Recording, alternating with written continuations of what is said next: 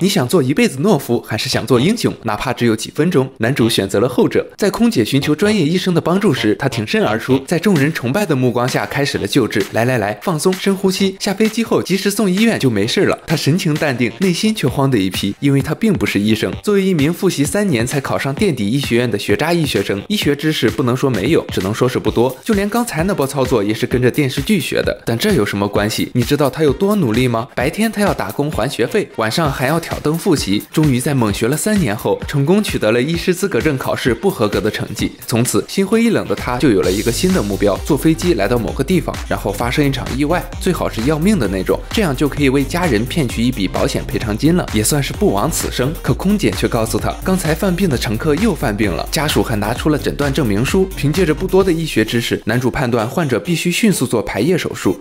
お願いします。 大姐，光靠我一个人是办不到的啊！如果非要做的话，需要麻醉师和护士。我是麻醉师。各位乘客有护士吗？我是护士。操，还真有啊！其实他并不是护士，只是在晚上经常扮演护士而已。听到有人叫护士，就条件反射的举手了。其实我也不是麻醉师，只是名字正好和麻醉师很像。现在已经没法退出了。不过好在有医生和护士在场，应该可以糊弄过去。可他并不知道，其余两个人也是这么想的。抛开事实不谈，一支专业团队就这么成立了。不行不行，这是非常难的手术，没有专业工具是做不来的，请马上返航。わかりました。等等，不许返航！我敲了二十年代码，好不容易申请了四天假期，怎么能就此化为乌有呢？其实我也不是乘务员，我和我的伙伴才是真正想要劫机的人。接到劫机任务时，我们是很不情愿的，好在被人抢先了。虽然此刻我的脖子被刀架着，但心里总算松了一口气。机長、其实我并不是机长，我只是一名乘务员。本想送些自制的香草茶讨好机 长，可两位机长喝过后食物中毒，双双倒地。机舱内，患者妻子央求医生再想想办法。没有手术器材，我也束手无策。そうだそうよ。等一下，有器材的飞机的厨房里肯定备有医疗器械的。其实我才是真正的医生，胸腔排液手术正是我的强项。可上次因为失误导致病人丧命，我就成为了众人眼中最差劲的医生。从那之后，我就再也不握手术刀了。 ですかね。あるのかこの人、この人を救ってあげてください。其实我不是他太太，我只是个孤独的旅行者。被人叫做太太是我三十年来最大的梦想。说实话，感觉真不错。本来我是想摊牌的，但是他们都叫我医生啊。奥さんやれるだけのことはやってみましょう梦已成真。手術を始めます現在の時刻は1時30分其实我不是时钟，只是个温度湿度计。现在的温度是二十四度，湿度是百分之四十。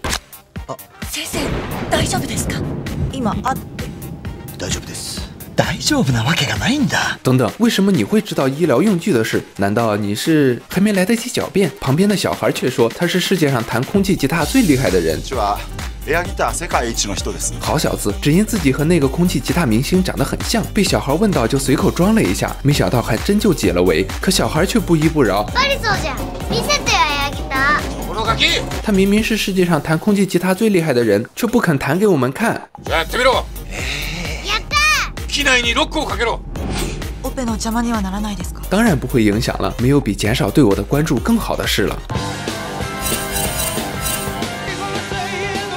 で世界一。あの人、偽物じゃないの？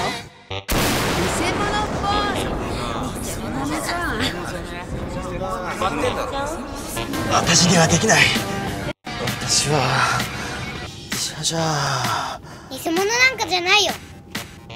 おじさんやっぱり世界一じゃん。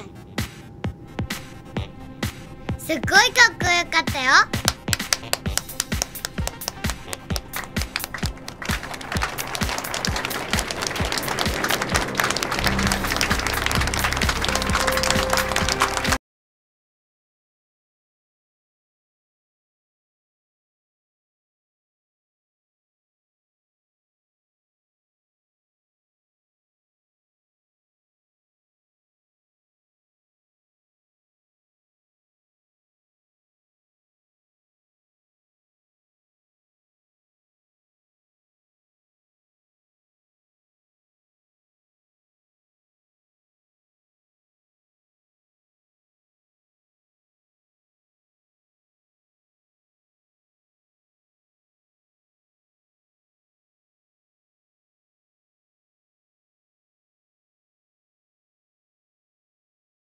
皆様もシートベルトをお締めください。頑張って一緒にハワイの夕日見ようって約束したじゃない。現在の時刻は？2時25分です。30と30%だ。恋をラッキル偽物の力見せてやる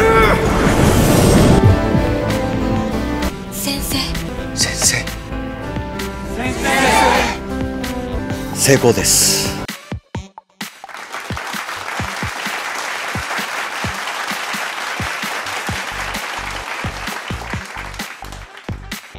其实我也不知道手术成功没，但我已经尽力了。其实我的诊断书是错的，只是这个医生把排叶手术做成了肺部排气手术，手术恰好成功了。航班顺利降落，ホノルル空港に到着いたしました素敵なハワイをいいんですかおじさん最高だったよ そうか。最高か。うん。じゃあね。分かってるだろ。これからは人の命を救う仕事をしよう。はい。ここは。ナイスフライトでした。機長命の恩人です。あなたは命の恩人です所有人都完成了救赎，男主终于可以安心的离开这个世界了。可真正的狠人总会接受命运赋予的使命。